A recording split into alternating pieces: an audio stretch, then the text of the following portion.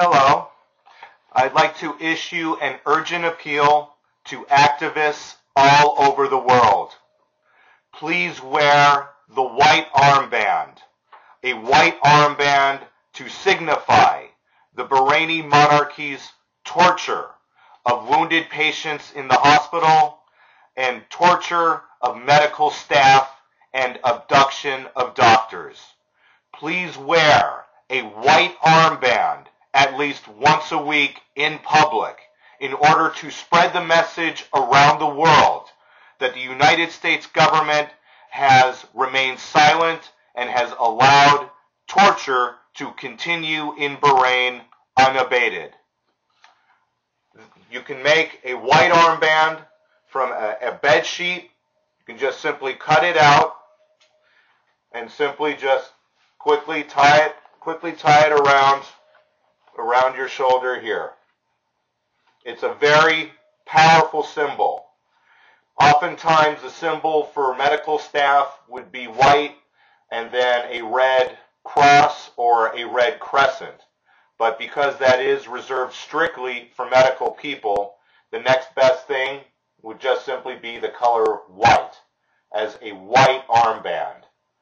This will spread the message powerfully. Please wear this in America, in North, in South America, in Europe, in London, in Sweden, in San Francisco, in New York. People will see it and they will ask, what is this? And you can tell them, there is a place where people want freedom.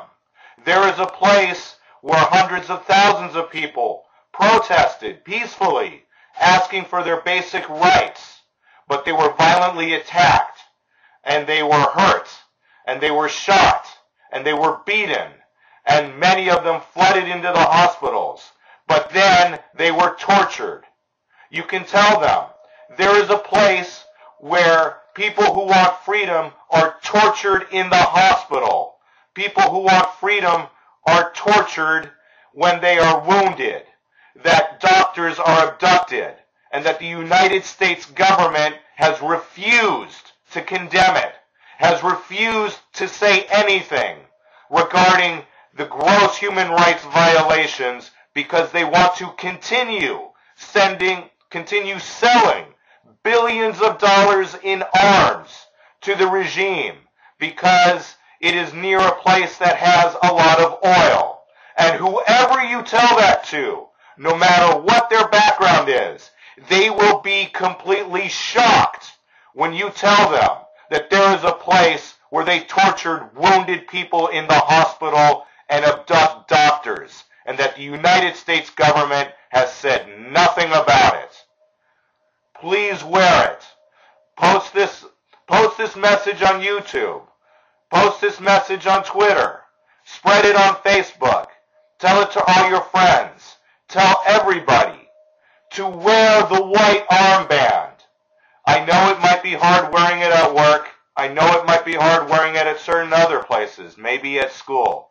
That's okay. But you can at least wear it once a week in public, maybe shopping or at the mall or walking on the street or whatever. People will see it and they will ask. And you can tell them about it and you can refer them. Refer them to videos on YouTube that show the graphic forms of torture and abuse, that show the CNN and Al Jazeera and Physicians for Human Rights documentaries about it. Or you can refer them refer them to Physicians for Human Rights uh, website or their report. Or you can refer them to my site, www.supportbahrainrights.com, which tries to lay it out in a very brief, concise manner of exactly how horrible the abuses are in Bahrain right now.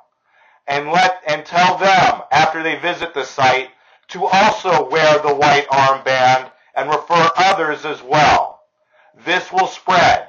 This can spread all over schools. It can spread all over, it can spread through act, through activist groups. It can spread through the world. We need to let the world know what is going on in Bahrain. Now, people may say, well, well, can we emphasize this for very long?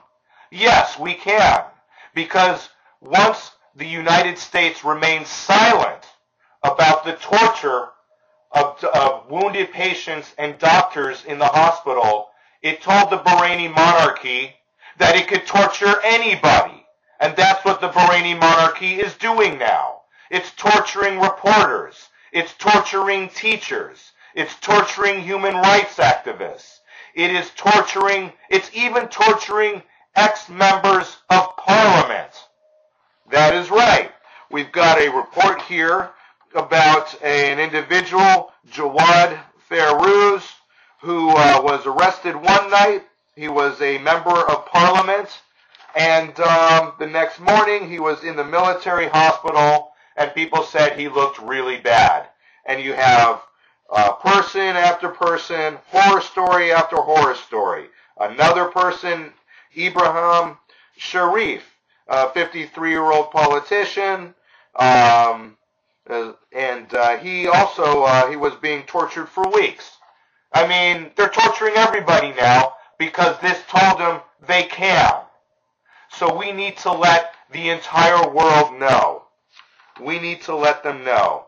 You see, every nation in the world needs to condemn the Bahraini monarchy, the Al Khalifa regime, for, for committing the most outrageous human rights abuses you can think of. There is no excuse for torturing wounded patients in the hospital. That is a scandal, and we cannot let them walk away from it.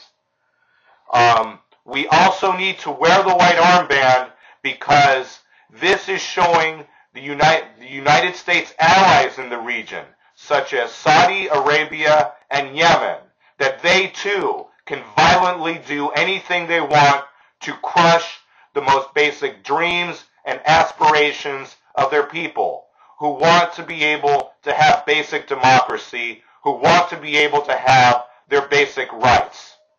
Saudi Arabia is most likely participating in the horrible abuses in Bahrain because it has a thousand troops there. And the worst abuses started once Saudi Arabia arrived, such as the occupation of the hospitals.